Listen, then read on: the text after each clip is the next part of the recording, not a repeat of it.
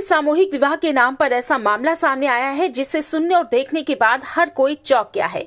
बलिया के मनियर में सैकड़ों दुल्हनों की शादी बिना दूल्हे की ही अफसरों ने करा दी। यूपी के बलिया से चौंकाने वाला ये मामला सामने जो आया है, आपको बताते चले कि यहाँ मुख्यमंत्री सामूहिक विवाह में अफसरों ने सैकड़ों दुल्हनों की बिना दूल्हे की ही शादी करा दी। सोशल मीडिया पर इसके वीडियो भी वायरल हो रहे हैं। दुल्हने खुद ही अपने गले में वरमाला डालती हुई नज़र आ रही हैं। और ये बताया जा रहा है कि इन दुल्हनों में से कई पहले से ही शादीशुदा हैं।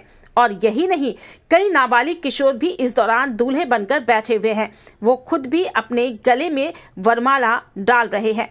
25 जनवरी को मनियर इंटर कॉलेज के मैदान में इस सामूहिक विवाह का आयोजन किया गया था और इसमें पाँच जोड़ों की शादी का दावा किया गया है।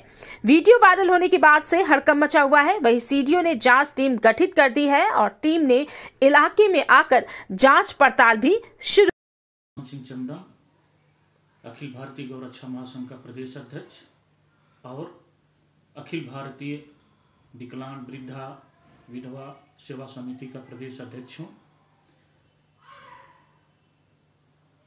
उत्तर प्रदेश सरकार द्वारा मुख्यमंत्री सामूहिक विवाह योजना का कार्यक्रम चल रहा है।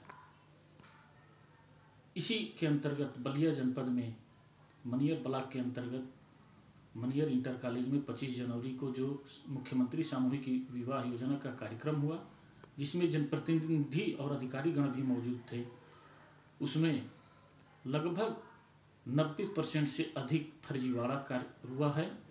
उस फर्जीवाड़ा का जब उजागर हुआ तो स्थानीय प्रशासन द्वारा तीन सदस्यीय कमेटी बनाई गई।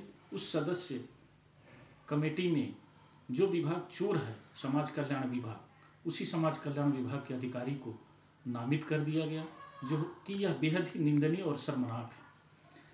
मैं चूँकि वर्तमान में प्रदेश से बाहर हूँ मैं आते ही माननीय मुख्यमंत्री जी और प्रधानमंत्री जी को इस प्रकरण की विधिवत चिट्ठी लिखकर जाँच कराने की मांग करूँगा। अभी मैं वर्तमान में माननीय मुख्यमंत्री जी से इसकी न्यायिक जाँच की मांग करता हूँ और तत्काल जो भी अधिकारी इसके दोषी हों, उसको जो है दंडित किया जाए।